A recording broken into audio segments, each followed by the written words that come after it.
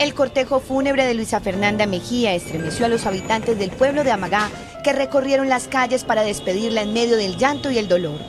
Entre la multitud estaban sus dos mejores amigas, quien recordaron los momentos que compartieron desde niñas. Pues yo recordaba todo porque ella era mi mejor amiga. Ella, ella soñaba ser veterinaria, ella ella era muy mejor amiga, ella era muy callada y todo. Y la queríamos mucho. Ella era muy juiciosa, ella no se merecía todo eso. La caravana llegó a la iglesia principal en donde se realizó una Eucaristía a la que no pudo asistir la madre de Luisa, quien aún se recupera del ataque en un hospital de Medellín.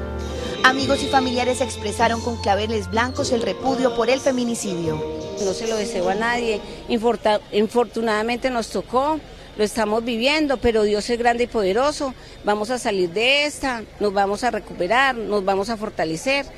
Despidiendo a Luisa Fernanda, un símbolo de lo que debe ser la mujer.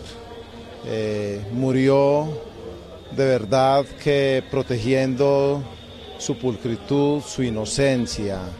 Son cosas que nos duelen. Las autoridades del municipio de Amagá planean la posible construcción de un parque con el nombre de Luisa Fernanda Mejía, símbolo de un feminicidio que marcó la historia del pueblo amagaseño.